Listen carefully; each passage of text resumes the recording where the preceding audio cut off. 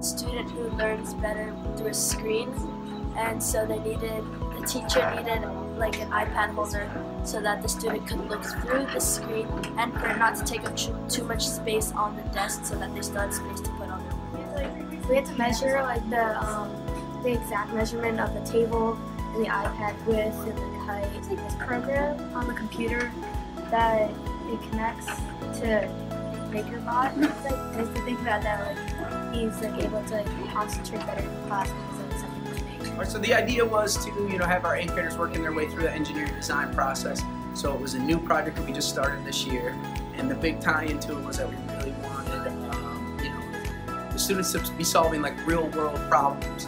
Um, so each quarter we bring in different teachers to come in and discuss like what their problem for their classroom might be, and our students work all their work their way all the way through the engineering design process you know, defining the problem, doing research for it, coming up with as many ideas as possible, and then they'll actually make um, you know 3D prototypes using Tinkercad, and finally can actually print out you know an actual working 3D printing model uh, slash prototype. And actually, the final step is really to present their prototype, so they have to kind of sell it, um, kind of Shark Tank style.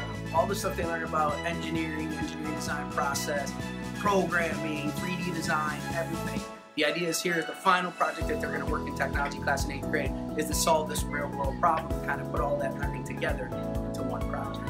Anybody sitting here could see you, but there's some research that says that people with Angelman syndrome are more inclined to look at a screen than at a person.